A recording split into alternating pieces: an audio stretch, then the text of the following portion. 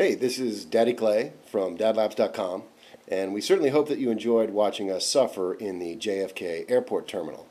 Uh, in case you were one of the sufferers or you'd like to celebrate the debacle that was JetBlue, please, uh, please join us on dadlabs.com for our JetBlue Haiku contest.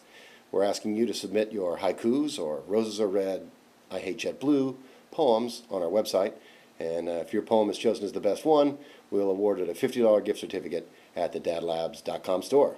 So thanks a lot for watching our videos on YouTube, and come on over and watch us at dadlabs.com.